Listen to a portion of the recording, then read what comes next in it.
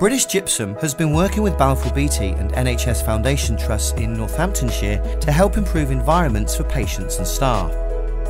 As part of the design development with Balfour Beatty Construction, ACTIVair technology was being put forward as a product to be considered for the project and was seeming to offer good benefits for the patients and staff who are working in the environment.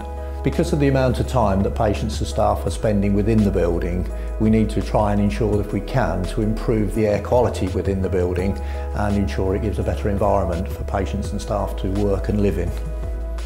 ACTIVair has been developed to absorb 70% of all formaldehyde, decomposing the toxin and converting it into harmless inert compounds. The product has been designed to last at least 50 years.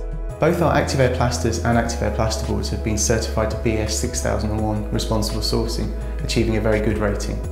Furthermore, our Active Activair plasterboards can be recycled from site using our plasterboard recycling service. ACTIVair has been developed across a number of products so that the technology can be used in a flexible way, be it through plasterboards, through the ceiling tiles or as a plaster finish. When we were developing ACTIVair technology we had healthcare very much in mind. In Balfour Beatty were looking for innovation that could improve the health and well-being of patients within their new build healthcare. There's an increased awareness around the issues of indoor air quality and their impact on health and well-being. There's also an increased client demand, such customers such as NHS trusts, local education authorities are looking for opportunities to improve indoor air quality.